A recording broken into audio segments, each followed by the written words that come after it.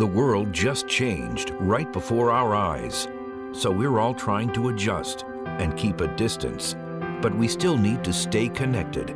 For Eyewitness News, that means new ways to tell the story This is how you do the news from home. and more ways to keep you informed. Here's a look at what it looks like right now in my home newsroom. Because the news matters now more than ever. Stay with Eyewitness News. We are all in this together.